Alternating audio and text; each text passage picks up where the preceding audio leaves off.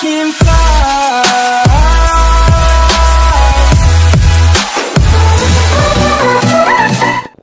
First of all, we passed 500 subscribers on YouTube, so thank you everyone. Keep supporting me. I will upload videos like this regularly, and thank you again.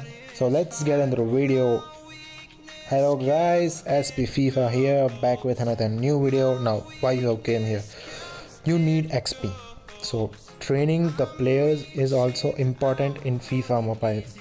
Not only making coins and all but training is required. And for training you need xp xp is needed for training right? So see what i am doing is i am buying cheap xp which is under 1000 coins. Now and nowadays there is a lot of there are a lot of players gold players under 1000 coins. So you can buy everything see i'm buying everything right now so they are good.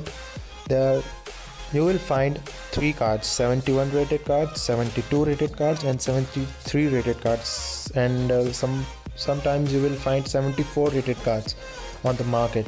So i will give you the filter of what you have to keep and how to get the players. So see 70 cards are of 576 xp 71 of 16 623 and 72 rated cards are of 675 right?